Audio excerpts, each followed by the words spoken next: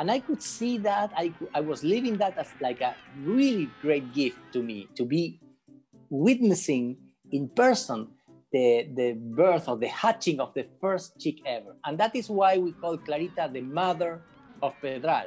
And, uh, and I think she, she, she's a symbol of hope.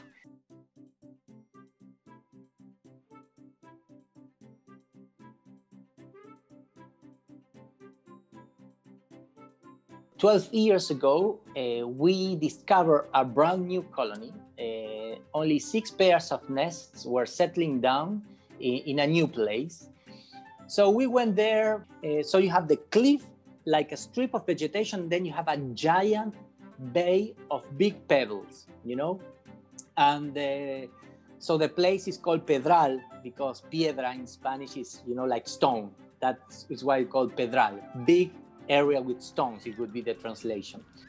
So when we got to the waterfront immediately, I could see the, the nests. Just one nest is really important. It's a big decision. I mean, if there is a one nest, two nests, you can call that, you know, a breeding settlement. It's like a colony starting. Normally, when you go to a wildlife place, you expect to see, you know, wildlife, everything clean, neat and tidy, but there were lots of plastics and broken bottles and pieces of cars and um, filters of the engines of the cars. Uh, you could see the places where they were making barbecues with the fires. I mean, that was not a place for penguins. That was not a place, that is not the pristine image that, that you normally have or expect to have when you go to these places. So that's where we decided, oh, we need to protect this colony.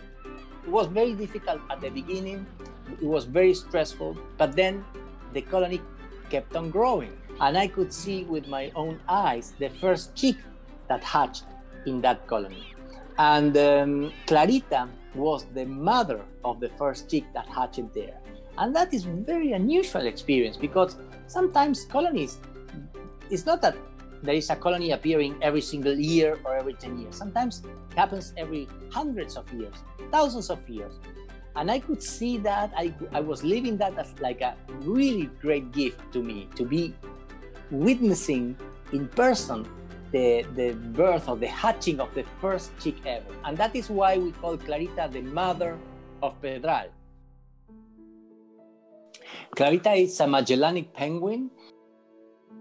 She brought light to to that colony because she contributed with the first chick that hatched there and uh, and I think she she she's a symbol of hope.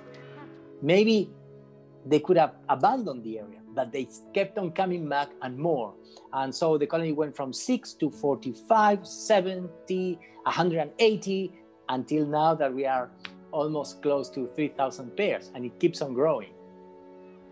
Sometimes we when we are resting after a long day of fieldwork, and I see so many penguins coming in and out, nesting so many chicks. I said, I mean, this is happening because we decided to do something. We took the risk, and, and it really worthwhile.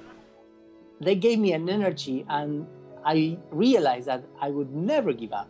You know, I would never give up. It doesn't matter what, how big the challenge is. If it's about fisheries, about oil, about development, about you know human disturbance they gave me the, the energy and they always reminded me that it really worthwhile to make the effort.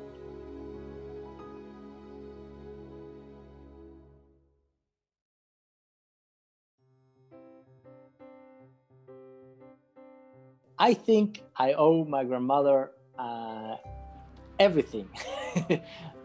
I always uh, tell that the first person that ever told me about something that was called a penguin was my grandmother uh, she used to live here in Patagonia, Argentina, 100 years ago. And, and she used to go to the coastal areas with horses and wagons to visit the penguins. She was a very special woman. I think she kind of left a deep message inside of me and, and a connection with wildlife and nature through the stories of penguins. I always remember the first time I visited a penguin colony by myself uh, and I remember being surrounded by almost half a million penguins. You can see all the burrows from there. So it's like a penguin, you know, capital city. And and you could hear, of course, you have the sea coming in, you, you can hear the waves, but the most overwhelming, positively overwhelming thing is the sound of the penguins. You know, these penguins they bray like donkeys. They would go something like, huh, huh, huh. this is the normal kind of thing they do. But imagine thousands of penguins braying at the same time at dusk.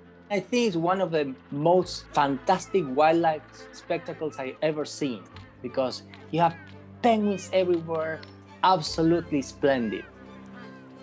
I like to describe that moment like a, an epiphany moment. And I just knew that I had to dedicate my life to penguin conservation. I was 18 years old, more or less, and the following year there was a very big oil spill here, and in two months, 17,000 penguins died due to that single oil spill. Uh, so I set up a rehabilitation center in that same colony to help penguins. My grandmother and the penguins, they, they are unafraid of challenges, you know.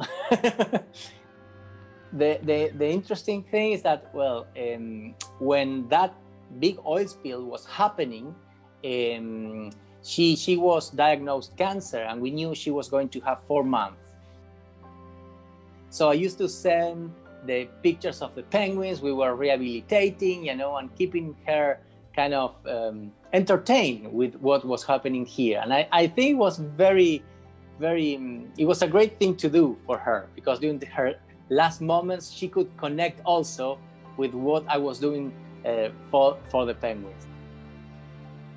And at some point, I realized that when I go to a penguin colony, I am connected, connecting with my grandmother. I've been working with penguins for 31 years old now, uh, for 31 years. So, um, so yes, yes, I, I think and I hope that, that she, she's proud of, of, of what I've done for the penguins and, and for the planet.